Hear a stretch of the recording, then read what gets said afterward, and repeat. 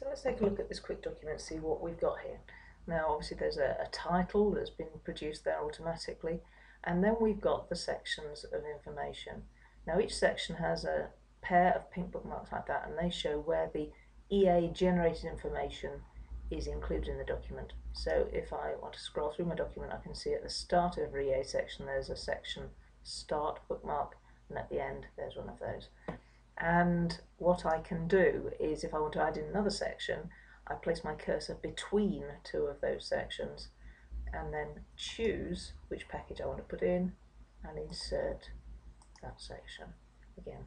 So you can see I've got a new set of bookmarks there for my new section 2 and this tells me in the preview pane what content is going to go into section 2 in order to physically get that into the document I need to go to generate it and I can generate all of the sections but in this case I'm only interested in just what that one new one is so I'll just generate quickly that new section. So there you are I've got my content in there and that includes diagrams and text again as I'd expect.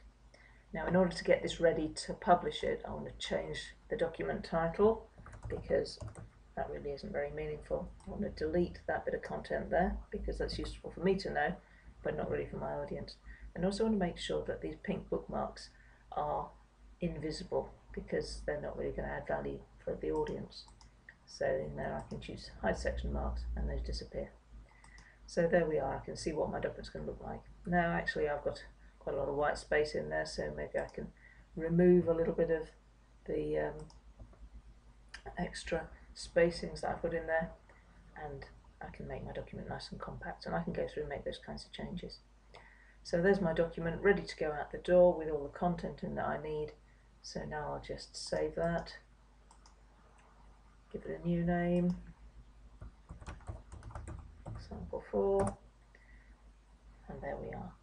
My document is saved with its new title, ready to go out on its own in the world.